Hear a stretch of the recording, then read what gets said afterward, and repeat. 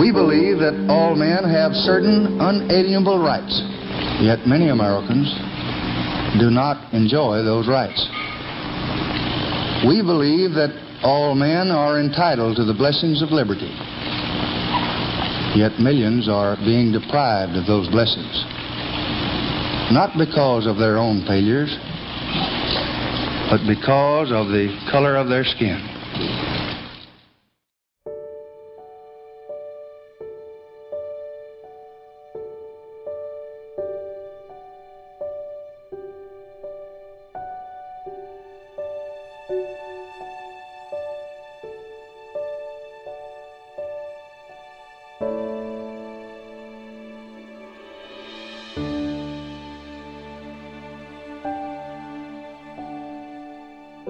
Didn't really fear anything. Probably didn't get anxious until two black policemen that I knew came to my home to tell me that they were going to be my security from the city. And then we started thinking, well, okay, maybe we need to have some concerns. Because we were not allowed to attend public colleges and universities, I knew nothing about Winthrop. So the first day I set foot on campus was the very first day I saw Winthrop. And it was indeed a very intimidating experience for me to drive up to Roddey Hall, which was the freshman dorm at that time, to see these huge white columns, which to me represented uh, the South of the past, with plantations and the slavery.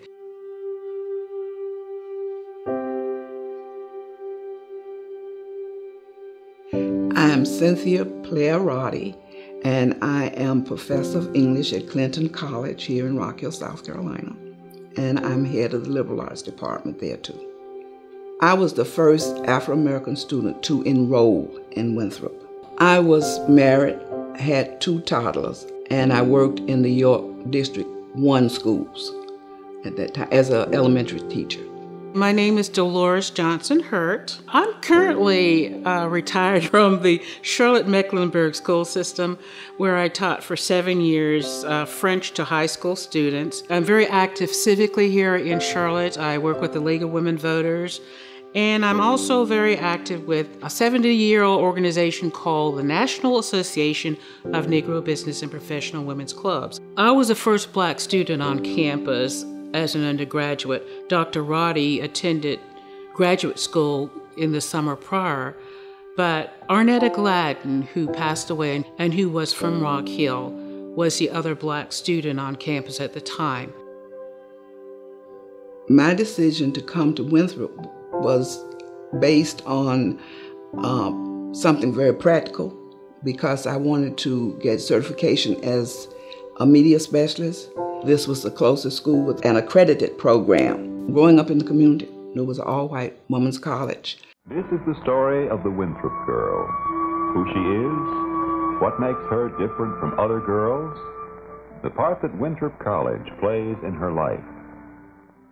Actually, I did not choose Winthrop. My high school guidance counselors chose Winthrop for me. They had been approached by the NAACP Legal Defense Fund in 1964, its first year, to find bright students who they felt would be able to endure the rigors of desegregating public schools in the South. So they approached my parents. My mother, in particular, was a very forward thinking woman, and she convinced me to attend Winthrop. The only help I got was from my mother.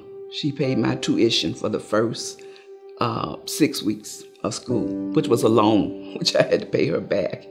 Anything that's education, anything that's for social and cultural development, she always supported me.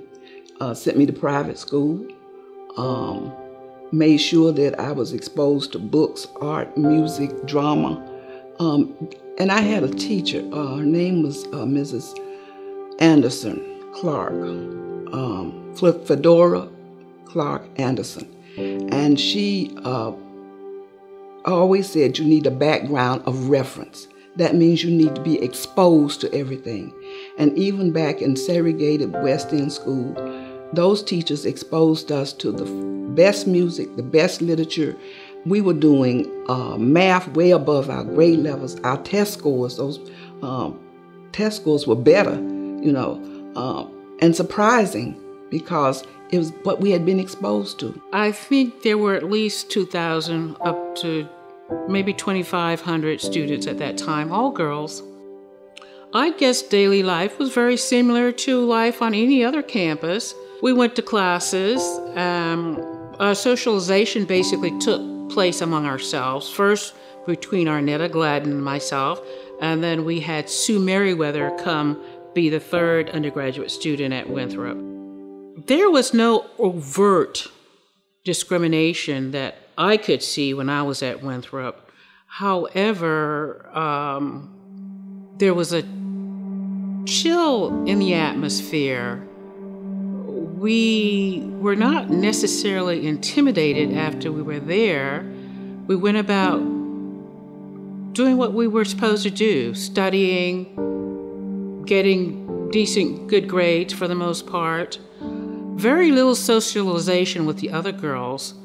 Xi Beta, somebody in the Delta chapter has written a poem, or they gave me a plaque or something that says uh, The Invisible Woman. And I was invisible because uh, nobody talked to me, nobody acknowledged me. The students didn't. And I think because I had other classmates working there, that's where I spent my lunchtime with them, talked to them. I knew somebody who worked out on the grounds, I talked to them. I knew somebody who t- worked in the kitchen, talked to them. So I don't even think they knew who I was. I knew about Arnetta because she worked at the Celanese uh, with my husband. And um, she was also married to somebody who was in my, from my community, so I knew about her. But I did not know. And it was 25 years, the 25th anniversary, um, that the Black Alumni Association had an event, and all of us, we were together for the first time, all in one place.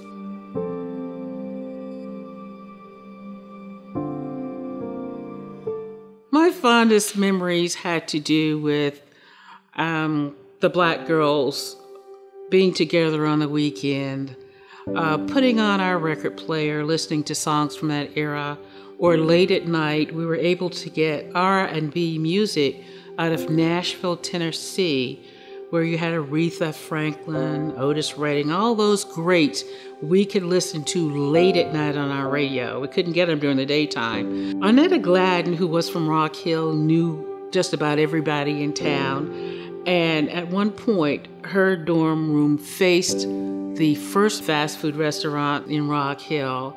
And so we would sit on a Friday night and peer out the window, and she'd point out people she knew, or and she was very anxious to see who was dating whom and going to the, the fast food restaurant. One of the things that we really appreciated was that most of the workers in the cafeteria were black.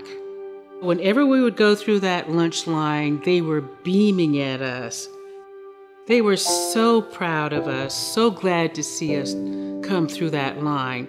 So that was one of the things that I remember much about life on campus at Winthrop. I think it was two years ago, I came back for the first time to a class reunion. Nobody in the graduate class came back, but the undergrads did. And I spent the day with those wonderful women. And they said they were 18 and 19 years old. They had no idea that this was a history making thing.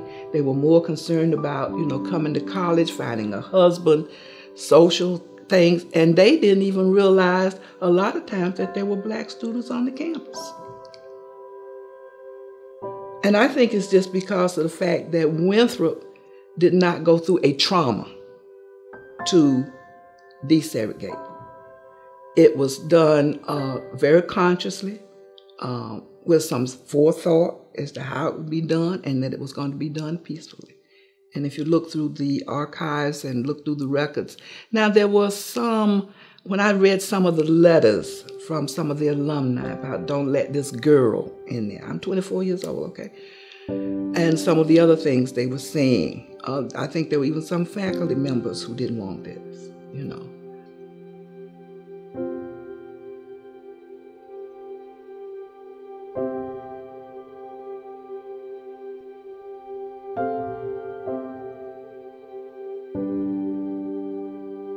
I didn't understand the magnitude of what was happening around the country and in the South as far as the desegregation process was concerned. Um, I knew that we were doing something historic, but now as I grow older and have a much more historic perspective about things, that was huge.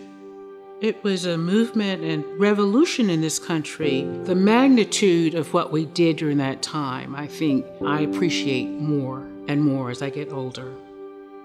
Only very recently have begun to appreciate the significance of it. Didn't realize that I really was taking my life literally in my own hands because there were people um, who just were so opposed. They were blowing up houses, blowing up churches, uh, people losing their jobs, economic, political reprisals, all that kind of stuff. Really didn't have any idea. But because I've talked to some other graduates, some younger alumni who come back, and who told me what a difference it made that they could have this choice of coming to Winthrop. But also it impacted the faculty. We got black faculty members. We have we've had black vice presidents of Winthrop, and I'm sure that at some point in time there'll be a black president. It wasn't a conscious political statement. It was done for practical economic reasons, but it has had an enormous impact. Winthrop, I think, has one of the highest rates of minority students in state in the universities, and probably retention and graduation rates among the highest. So it has made a, a, a big impact. And it made an impact on my life too because it provided me with economic security. I'm extremely proud to have made a contribution in terms of desegregating Winthrop. However, it is amusing to me now when I go back on campus for a forum or something like that, and the students hear that you were the first undergraduate at Winthrop, first to be accepted. They are astounded. I, I'm seen as a relic. I'm a relic to them. They can't fathom that I'm still around after being a student at Winthrop in, in, the, in the middle to late 60s. I'm just really, really honored, really, to have been chosen because I was chosen to play this role in history.